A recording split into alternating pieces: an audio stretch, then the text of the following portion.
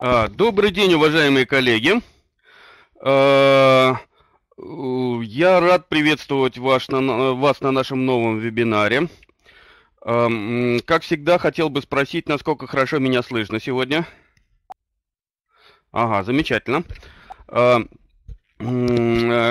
Коллеги, Несколько слов, как всегда, перед тем, как передать слово э, э, нашей сегодняшней ведущей, Анне Ивановой, э, хочу сказать, э, э, ну, во-первых, многие вас уже увидели, э, из вас уже увидели, что в самом начале нашего чата располагаются две м, полезные ссылки. Э, Первое из них – это расписание наших вебинаров, и э, по нему вы сможете э, за, записаться на все предстоящие вебинары первого полугодия 2017 э, года, вплоть до середины июня месяца.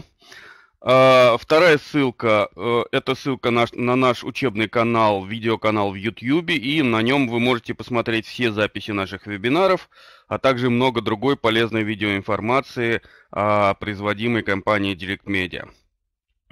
А, э, хотел бы обратить внимание на два предстоящих вебинара. Сейчас э, я дам э, ссылки на них в нашем чате. Один из них состоится прямо завтра. А, его буду вести я. Этот вебинар называется «Как выбрать формат учебного видео». Этот вебинар открывает э, такой мини-курс, посвященный учебному видео, который буду э, вести я вот в форме вебинаров. Э, он состоит из трех, э, из трех вебинаров. И второй вебинар э, тоже проведет, он э, пройдет уже после всех праздников. Мы решили э, между э, майскими праздниками не проводить вебинары, так как многие из вас э, будут в это время отдыхать. Следующий вебинар после 26 э, числа состоится только 11 э, мая. И этот э, вебинар тоже проведет Анна Иванова. Будет он начинаться, будет он называться «Как распространять свою научную книгу. Секреты дистрибуции». А, вот, это то, что я хотел бы сказать по поводу презентации. Я уже видел здесь э, вопрос по поводу, будет ли э, выложена презентация. Я хочу сказать, что сегодня у нас э, такой более аудиальный э, э, вебинар. Э, Анна э, решила провести его э, в виде, э, в виде такого монолога-диалога. А, то есть э, э, презентации не будет, будет только э, общение с вами. А, так что готовьте свои э, вопросы прямо по ходу дела и задавайте, задавайте ей. Как всегда, все присутствующие на нашем сегодняшнем вебинаре э, получат э, бесплатный именной сертификат электронный. Э, вам на почту, под которой э, вы зарегистрировались в вебинаре, придет ссылка. По этой ссылке надо будет перейти эм, войти или э, зарегистрироваться на нашем портале. И после этого откроется ссылка для скачки вашего именного сертификата. А, вот на сегодня у меня все. Я передаю слово Анне. А, Анна, прошу в эфир. А сам остаюсь в чате. А, если что, помогу вам. Все, все. В самом начале вебинара прошу вас а, дать сообщение о том, как меня видно, как слышно, плюсиками, как обычно. А, я понимаю, что у всех разные настройки, и мы попытались отрегулировать. Вот, я надеюсь, что всем все хорошо слышно. Угу, отлично. Но пока вы ставите э, плюсики, такое наблюдение очень интересное. Э, в составе наших участников в основном женщины, хотя по статистике э, преподаватели, те, которые публикуются, это в основном мужчины. Так что будем налаживать баланс, и я очень надеюсь на такой хороший результат. Ну, видимо, тема их не очень привлекла, потому что они сами знают о своих проблемах, никакие вебинары им совершенно не нужны. А, я действительно решила сегодня провести вебинар а, именно как личное общение, как а, общение такое тет-а-тет. без презентации, собственно говоря, еще потому, что мы давно об этом говорим, говорим и были уже презентации на эту тему. Сегодня мне бы хотелось рассказать вам, как публикации решить 7 проблем преподавателя. Вот такую цифру мы для себя вывели. Собственно говоря, вообще мое выступление будет состоять из двух частей. Первая часть – это, собственно говоря, проблема, а вторая, собственно говоря, как опубликоваться. Очень кратко. Мы здесь в основном преподавателями собрались, и если вы читаете лекции, ведете семинары и уже а, наработали методику преподавания вашей дисциплины, то ясно, что рано или поздно вы приходите к потребности публикации. Одной публикацией преподаватель решает сразу несколько проблем.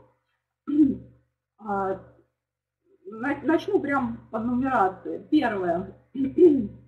А, при длительной работе в одном направлении – скажем, а, в рамках своей дисциплины преподаватель вынужден а, давать актуальную информацию, идти в ногу с наукой, прогрессом, делать свои выводы, открытия. Поэтому а, появляются наработки, которыми, собственно говоря, хочется поделиться, оформить их в какую-то цельную книгу, учебно-методический комплекс, в отдельный учебник. У многих появляются монографические работы, работы, несущие исследовательский характер – Э, в рамках своей узкой специальности или наоборот обобщающего характера какой-то глобальной проблематики.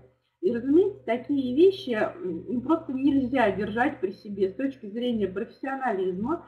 А преподаватель обязан донести свои идеи, знания, результаты своих исследований, исследований своих э, работ до масс, до широкого круга читателей. Таким образом, мы вывели первую проблему которой сталкивается преподаватель, а, и, э, которую он может решить в своей публикации, это проблема передачи оформленных знаний, передачи накопленного профессионального опыта. Бывает и так, что проблема осуществления публикации стоит остро еще и потому, что а, по преподаваемой вами дисциплине, дисциплине просто нет актуальных учебников. Ну, бывает такое. А, Причем я думала, какой пример вам привести, а, какую дисциплину привести здесь, чтобы вот подкрепить как-то свои слова. И, вы знаете, не смогла определиться, прежде всего потому, что ни одна дисциплина не стоит на месте. Постоянно появляются какие-то факторы, развивающие ее, расширяющие, обнажающие какие-то факты, которые а, ранее были скрыты, неизвестны. Ну вот так, таковы тенденции современности, все быстро меняется – требует внимания и актуализации, не говоря уже о, об облегчении именно вашей работы по преподаваемой дисциплине. А, ясно, что всегда удобнее работать по своим собственным наработкам. А, таким образом, вторая проблема, которую любой преподаватель решает в публикации, это актуализация знаний, обновление научной э, и, или э, учебной базы по преподаваемой дисциплине. А, ну, не первый год работая с преподавателями, за, за мой уже почти 20-летний стаж работы вот в образовательной среде и вот в последнее время в издательской, а, причины осуществления публикаций в совокупности одинаковые. А, ну, какие-то из них а, больше подвигают на работу над публикацией, над собственными изданиями, какие-то меньше. И вот по наблюдениям я считаю, что просто нельзя опускать причину культивации собственного имени в научном сообществе. Вообще это огромный труд, э, и в науке, в образовании свое э, имя сделать сложнее, чем во многих других областях. Конце концов, люди э, берут, покупают не только то, что вы им даете, а кем вы являетесь, ваше имя, ваш статус в научном сообществе, вас как исследователя, методиста, педагога, специалиста в узкой области преподаваемой вами дисциплины. Раньше работать на свое имя, на бренд, который вы представляете, считалось как-то зазорно. А сейчас заставить прислушаться массы можно только работая над тем, чтобы ваше имя знали не только студенты, но и широкая читательская аудитория. Сделать это можно с помощью своих публикаций и нужно. Таким образом, Третья проблема, которую преподаватель решает в публикации, это заявить миру о себе, о своей работе, о своих достижениях. Э, в наше время это сделать нужно и можно. И раз уж мы заговорили о личности преподавателя, о его личных э, выгодах, э, вот в этом моменте я прошу, очень прошу понять меня правильно, преподаватель в большинстве своем, конечно, человек гордый, и говорить о деньгах за свой труд он не любит. А, однако об этом говорить можно и нужно. И если система образования предъявляет требования, которым преподаватель должен соответствовать, она а, предусматривает и систему поощрения, присваивает ученые степени, предусматривает надбавки. Этим нужно пользоваться, тем более, что получение степени а, или прибавки в данном случае не самоцель, а приятное дополнение к результатам своего научного труда, педагогического опыта, исследовательской работы. А, вот а, получение степеней а, надбавок напрямую зависит от количества и качества публикаций, осуществляемых преподавателями. Все публикации попадают на ресурс, присваивающий индекс научной цитируемости любого издания. Качественная публикация, она обеспечит высокий уровень цитируемости и вознаграждение, соответственно, за свой труд со стороны системы образования, в которой вы работаете. Э, таким образом, четвертая проблема, решаемая преподавателем публикациями, это соискание ученых степеней, повышение уровня РИНС, научного цитирования, получение заслуженной надбавки.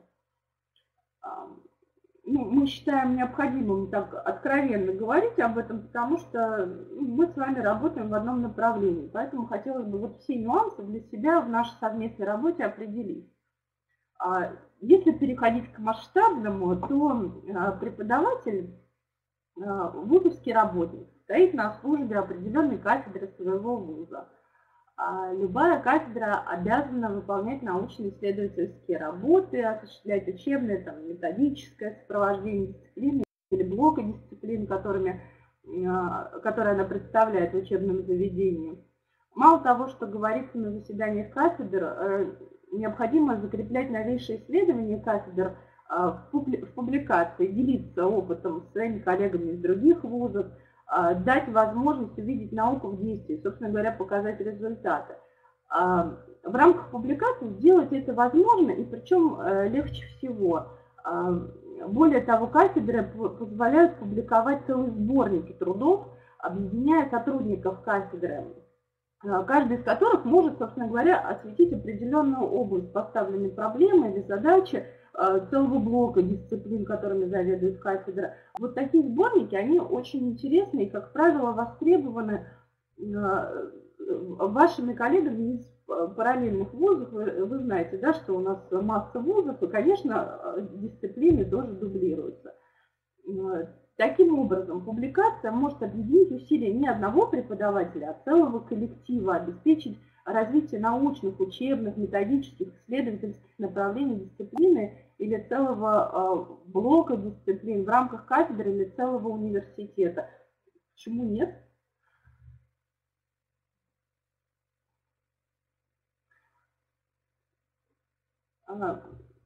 вижу небольшое сообщение про э, колебания звука, но, э, к сожалению, невозможно выровнять у всех одинаково, поэтому я постараюсь колебаться меньше. Вот, и надеюсь, что вам будет э, слушать легче. Это была пятая проблема, э, которую можно решить в публикации, работа на кафедре, да, освещение своей научной деятельности в таком масштабе кафедральном или вузовском. А, было бы странно и непонятно, если бы преподаватель вышел на идею публикации, имея материал а, рабочий, потребность к изданию какой-либо работы, только ради группы студентов, которыми вот в конкретный момент а, он занимается, которым преподает. Вторая группа вечернего отделения два раза в неделю. Такая идея, конечно, благородна, но она не окупает временные и материальные затраты преподавателя. Поэтому а, публикация, она решает проблему доведения до сведений результатов труда преподавателя широким массам, большому кругу читателей. А, в мире есть масса учебных заведений, научных работников, которым требуется именно ваш опыт, именно ваш взгляд. Вот это нужно постоянно держать в голове и не работать как точечно, а все время на, на большую аудиторию. Вот в этом на самом деле залог успеха. потому что все другие показатели вашего уровня роста, они будут чем шире будет круг охвачиваемой аудитории, тем выше будут наши показатели в работе. Вот ради того, чтобы Вашу работу увидели многие, и стоит публиковаться, донести свои идеи, свои видения дисциплины, отдельных ее частей до всех читателей, имеющих такую потребность. И я действительно говорю не только о России, но и обо всем мире, потому что в настоящий момент интерес к нашей стране и ее достижениям научным в том числе высок, как никогда. А вот, уважаемые преподаватели, пользуйтесь этим. Сейчас именно вот тот момент, когда нам, к нам, нашим идеям повернулся лицом на самом деле весь мир. Сейчас самое замечательное время издавать книгу. А, вот а, в мае, мы чуть забегая вперед, будет вебинар про секреты дистрибуции, и как человек, наблюдающий а, все этапы реализации продукции, могу вам сказать, что за границей за последний год наши потребности в наших книгах научных, эта потребность выросла в разы. А люди читают, люди читают на русском языке, потому что там очень много преподавателей, которые знают наш язык и понимают, а, о чем речь, поэтому призываю вас использовать этот момент. А, и, кстати, о книгах. Э, мы э, сегодня в основном употребляли слово публикация. Публикация, там работа. Любая работа работа, которую вы проделали, но не издали, а, рискует остаться в вашем компьютере. А, после того, как вы вот использовали ее на выступлении кафедры, на каком-то научном совете, там, выступили с тезисами на заседании, э, использовали при преподавании своей дисциплины, а, так вот, любая публикация должна быть опубликована, должна быть зафиксирована на материальном носителе, она должна стать книгой, доступной вашим коллегам, студентам, обычным интересующимся людям.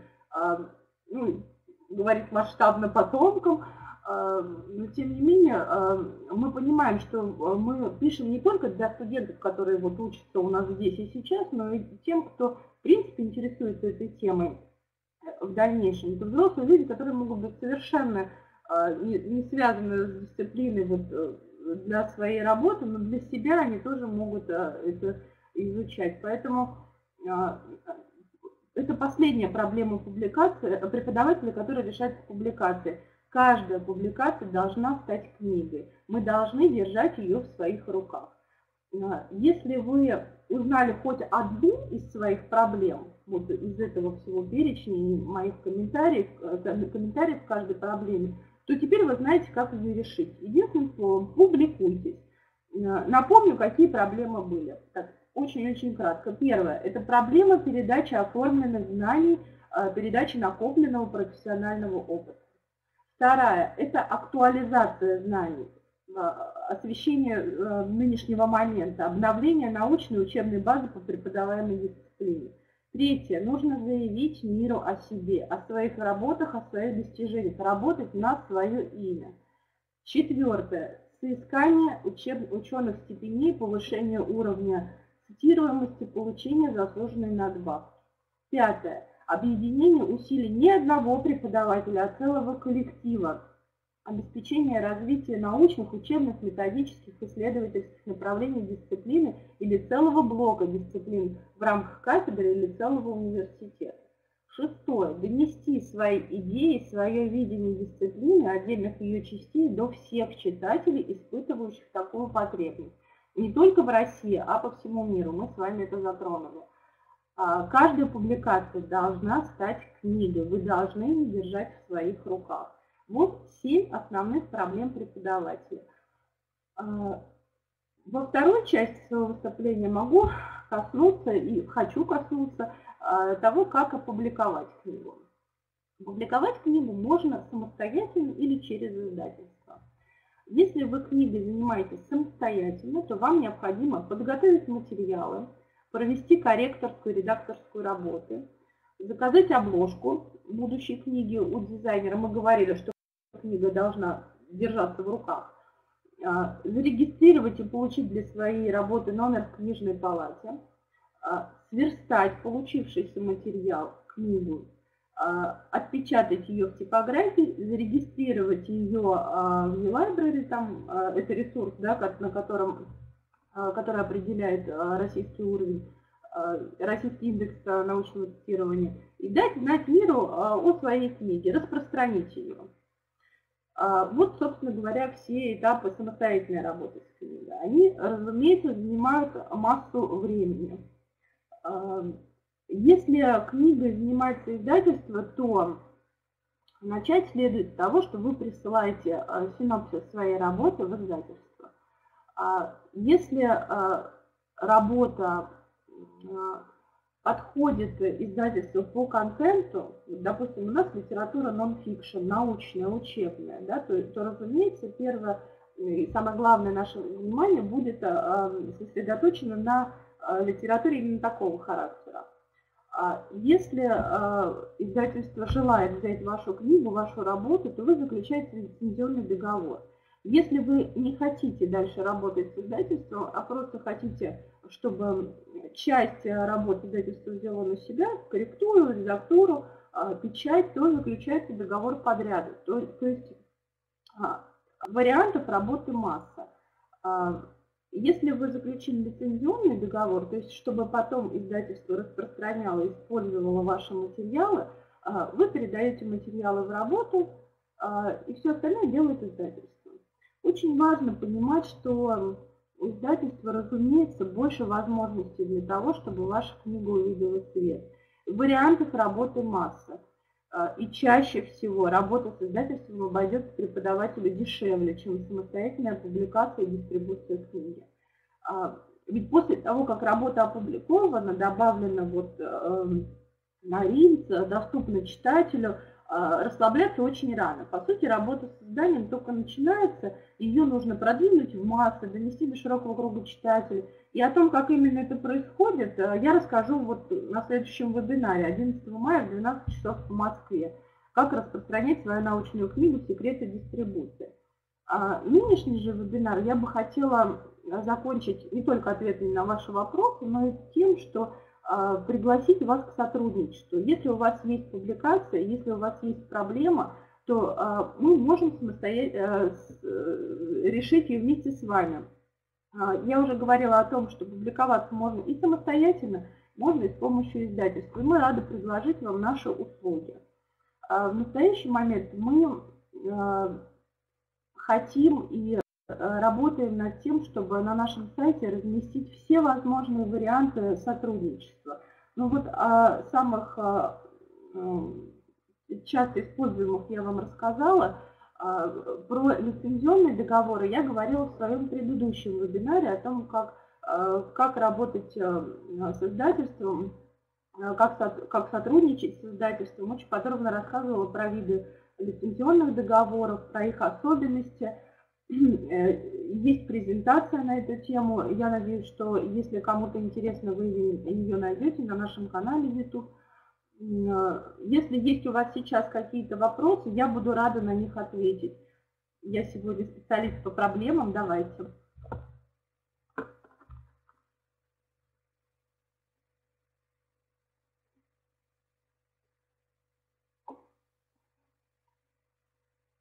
Ну, я надеюсь, что э, молчание – это не, не набор большого объема текста, а отсутствие вопросов. А, я еще немного подожду. А, тем не менее, если у вас есть работа, я вас призываю присылать. А, на всех наших ресурсах есть контакты. Вы присылаете не всю работу, потому что я понимаю, что есть боязнь того, что а, работа не дойдет да, до редакторской коллегии, что потеряется и вы будете переживать. Поэтому мы просим только синопсис. Это краткое содержание работы, основные его темы, структура, а, чтобы э, редакторской коллегии было понятно, а, что мы собираемся печатать. Только ради этого. Поэтому я э, призываю вас присылать синопсисы. Мы будем очень рады новым работам, актуальным работам сейчас а, идет большой подъем, большой спрос на научные работы, поэтому если э, у вас что-то есть интересное, что вы хотели печатать, мы с удовольствием возьмем.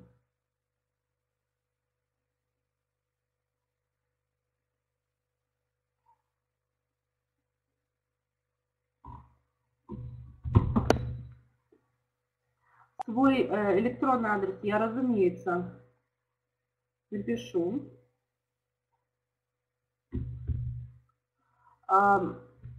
Юлия Борисовна, гарантируем ли мы публикации в определенных изданиях? А, если вы говорите о какой-то периодической литературе, то а, мы говорили про книгу, да, про публикацию книги в целом. А, мы публикуем работу, монографии, учебники, учебные пособия, сборники статей, и это выпускается книга. Это не статьи в периодическое издание. Если мы говорим о распространении, то да, у нас есть возможность давать информацию о том, что вот вышла такая-то научная работа. Мы сотрудничаем а, с книжной индустрией, с журналом. Э, там мы говорим о, о своих новинках, а, размещаем рецензии на книги. Вот такие да, работы ведутся. Но это я тоже в дистрибуции расскажу.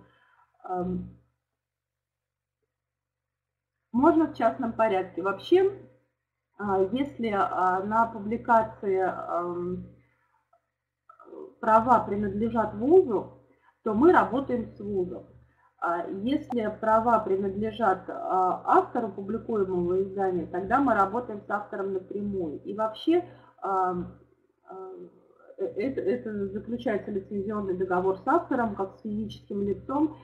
И если даже ваши права на вашу публикацию принадлежат вузу, то а, насколько я понимаю, пишется специальное письмо, и вузы охотно разрешают использовать, возвращают вам права на вашу публикацию, то есть э, разрешают использовать в течение какого-то времени написанное вами а, произведение. В этом проблемы никогда не было. Издание а, работы оплачивается, есть разные варианты, начнем с этого. Есть лицензионный договор, когда Издательство предлагает автору передать э, книгу э, на исключительных правах, то есть чтобы полностью в течение ограниченного э, количества времени, там 3 года или 5 лет, заниматься его дистрибуцией, распространением.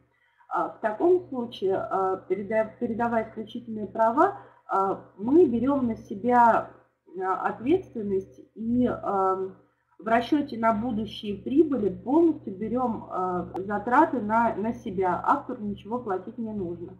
Если автор понимает, что он хотел бы реализовывать, дистрибутировать свое произведение в нескольких издательствах, для этого в магазинах, там, в разных сетях, для этого существуют не исключительные права лицензионного договора, когда вы передаете с возможностью использовать в разных организации своего произведения, тогда мы, рассчитывая, что прибыли мы получим меньше, потому что э, больше э, людей будет, э, больше организаций будет заниматься распространением, и такая конкурентная борьба будет между нами, мы понимаем, что выгоды мы получим меньше, и за это мы можем взять оплату.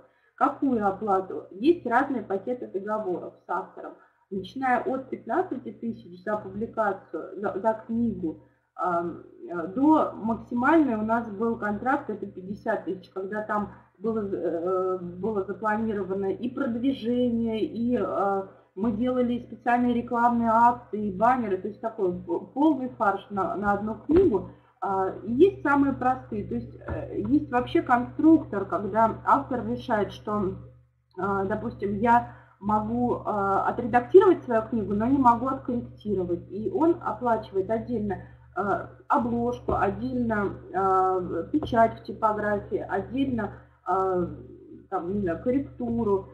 То есть есть целый конструкторский. Мы на нашем сайте размещаем такие пакеты услуг, и я, я надеюсь, что это будет доступно вот прям с ценами в ближайшее время. Поэтому здесь вопрос, конечно, вот он такой двоякий. Мы делаем и платно, как большинство издательств, и делаем бесплатно, но только то, что нам очень интересно, то, что попадает в наш контент, то, что мы можем предложить а, массе вузов, библиотек. Вы знаете, что у нас мы владеем университетской библиотекой онлайн, и вариантов для дистрибуции у нас масса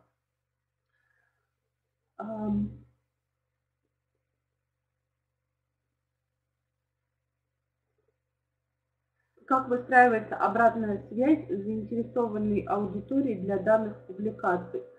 Э, я если заинтересованная э, аудитория это авторы, то я дам свой электронный э, адрес для того, чтобы мы начали общение уже в индивидуальном порядке.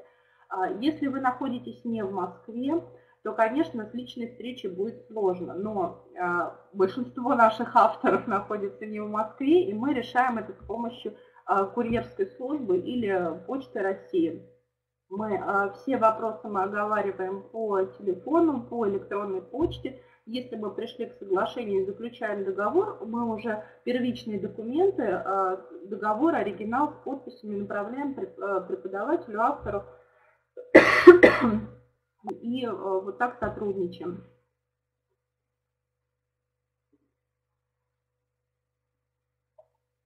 Так, Мария Анатольевна, тираж в произведении в любом мы ставим изначально 500.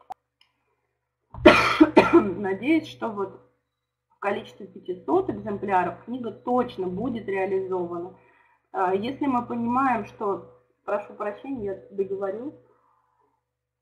Если мы понимаем, что книга имеет такой успех, что а, необходима допечатка тиража, то здесь мы договариваемся с автором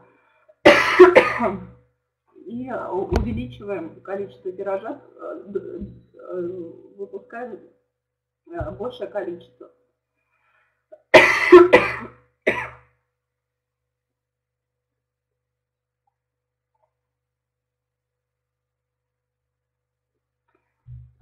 Я свою почту даю, а вы вот все вопросы, которые вам интересны, мы можем решить в индивидуальном порядке.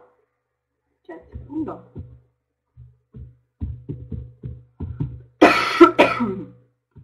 Еще бы хотела сказать, что а, авторов у нас очень много, около э, двух тысяч минимум. И, а, разумеется, не только я работаю с авторами, хотя я делаю с огромным удовольствием это. А, у нас несколько сотрудников, которые работают с авторами. И первично мы, когда решаем какие-то вопросы, мы э, распределяем э, между собой авторов и ведем их, чтобы наше внимание было максимально каждому и не было никаких э, недопониманий. Сейчас, секунду, я дописываю. Я это к тому, что вы не пугайтесь, если ваш вопрос я переадресую сотруднику не менее компетентному, чем я. Еще а, касаясь вопроса тиража. А, у нас мы печатаем по технологии Print on Demand. Это очень удобно, потому что печать по требованию. То есть а, мы не храним весь тираж в 500 экземпляров у себя на складе. Мы сначала ведем, идем в дистрибутивную сеть и понимаем, какие заказы у нас есть. Потом оперативно печатаем и предоставляем, реализуем этот заказ, собственно говоря. Поэтому э, вопрос тиражности нас особо как бы не интересует, хотя я понимаю, что он интересует преподавателя.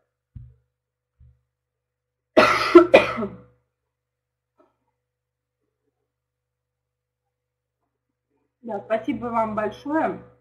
А, я надеюсь, что вы, а, если есть вопросы, если нет вопросов, но есть интересная работа, мне напишите. Мне с вами тоже было очень интересно. Я очень рада, что вопросы были по существу. А, я вас благодарю за, благодарю за внимание. Приходите на вебинар 11 мая. А, после праздников, а, видимо, только я буду в форме, чтобы провести, но я надеюсь, что этот вебинар будет очень интересным, потому что как распространять научную книгу, это это определенная наука. То есть там будет очень интересно. Приходите, я э, буду рада вам рассказать все-все э, секреты дистрибуции научной книги. Всего доброго, до свидания.